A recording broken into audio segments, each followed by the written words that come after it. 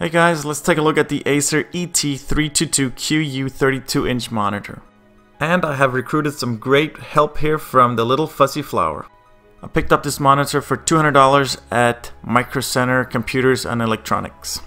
So basically I was looking for a good deal on a budget monitor and I was looking to upgrade from a Full HD to a 1440, so a 2K monitor. So let's take a look at this one.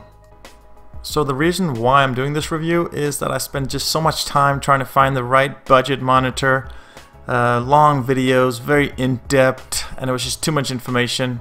So I'm by no means a tech wizard, but what I'm hoping is that after this quick video, you'll know should I get this monitor or not. Okay, I'll be using this monitor for work, emails, YouTubing, and video editing. And it comes right out of the box fully assembled I did not expect that, so that was a great surprise. The overall height of the monitor and the stand, so from tabletop up to the top of the screen is 21 inches. The screen itself is 17 inches if you're going to mount it on the wall. The monitor is 27 and a half inches wide with the aspect ratio of 16 by 9.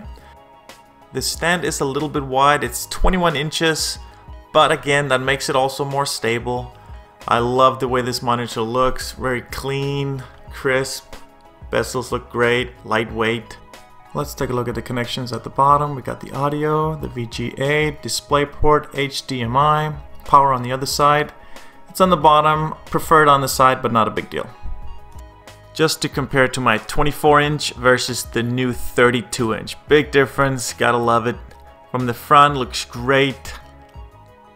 From the side, not too thick at all. And remember, this is a light monitor. The wall mount is on there as well. And on my desk, I really like the way it looks. And the half inch bezels around all black. You can't see anything else, so you can just enjoy the screen. So the buttons, you saw me just turning it on. It's in the back, which at first I did not like. But now, I actually don't mind it at all. I don't see any buttons, I don't see any light shining, just the screen. So in this stand at the bottom, you can see it's kind of wide, but it's not too bad at all. Hardly notice it now. From the back to the front of the stand is 9 inches. Okay, so 9 inches from the back of the desk forward. And also all the controls are in the back too. Actually fairly easy to move around. So let's take a look at the back. As you can see, connections, the buttons are right there, easy to get to. So let's see the difference in the resolutions on my two screens here.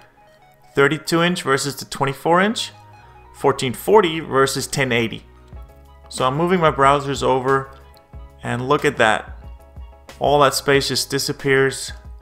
Moving them back, I got two full browsers up on my 32 inch. I even left a gap down the middle. So there's extra space.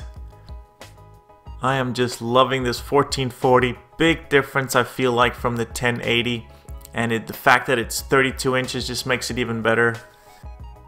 There is no uh, height adjustment on this monitor, but it sits up 5 inches from the desk, so that's actually a very nice height that it starts with, so I had no problem there.